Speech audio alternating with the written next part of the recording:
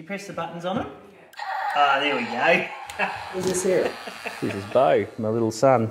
He's cold. Hey. Think Bo's gonna get into farming? Oh, I hope so. Yeah, loves going with Dad, so hopefully. Now, I've been out and about farming forever. Breakfast.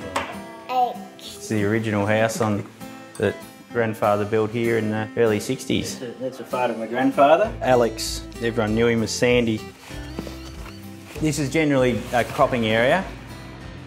The main crops are wheat, barley, faba beans, field peas. Yeah, this is one of our fields, so this is a, a wheat crop. When we get big dumps of rain in the summer, well, that creates a lot of weeds that we've got to oh, spray out. This is our family farm. So this is where all our machinery and everything's based. Some days you might only get a three hour day or a window where you can actually spray. There's the new sprayer we're going to take out today. 4430 Patriot sprayer. Over a year I'll spray somewhere between 45 and 55,000 hectares on average, about 1,500 hours a year. It's a few days in the saddle, yeah.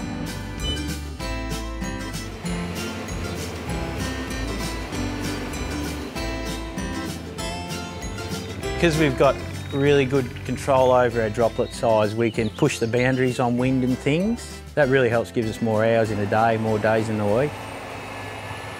As we do it, go through a turn, the outside of the boom being 36 metres that way is travelling a lot faster than the inside here. Every single nozzle is totally different, which allows us to vary the flow rate over a range of speeds.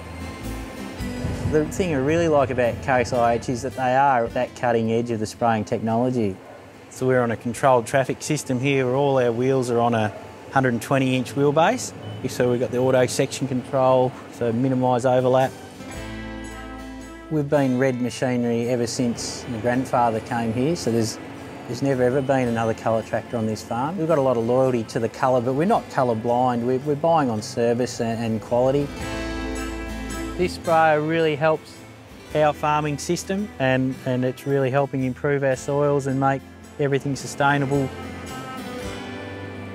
What we used to think was unachievable now just becomes the norm. We want to leave the land better than we got it. I mean, you've seen I've got my son running around, he's two. I want him to be able to live his life here and have a good life on the farm as well.